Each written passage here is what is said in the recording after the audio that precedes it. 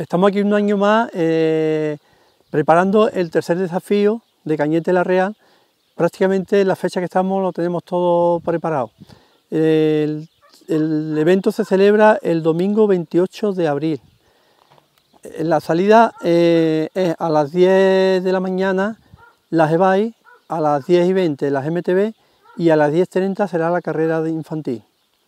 El recorrido eh, prácticamente eh, es igual que el del año pasado. Hemos hecho algunas modificaciones con el objetivo de que se vea un poco más del pueblo. Eh, hay menos kilómetros, pero un poco más de desnivel. Quizás sea un poquito más difícil que el año pasado, pero que yo creo que a la gente le va a gustar más los cambios que hemos hecho. Este año le hemos puesto un poco más de recorrido sobre el pinar que tenemos en las carboneras. Hemos hecho un poco más de kilometraje por allí para que la gente disfrute más de, ese entorno del, pinar, que es lo que más les gusta.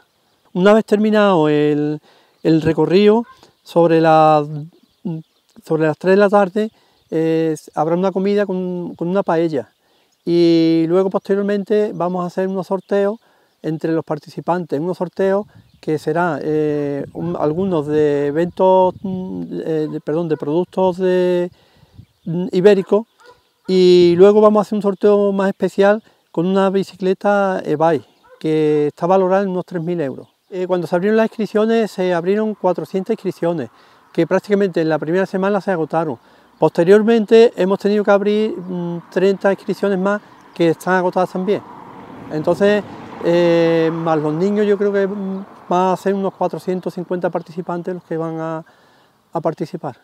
Queremos agradecer los, los principales patrocinadores que han colaborado con, este evento y como unos años más también eh, participan muchos voluntarios. Creo que hay más de 60 voluntarios del pueblo que sin ellos no sería posible realizar este evento. Y una vez más, como en todos los eventos que se llevan a cabo, a Protección Civil por su colaboración.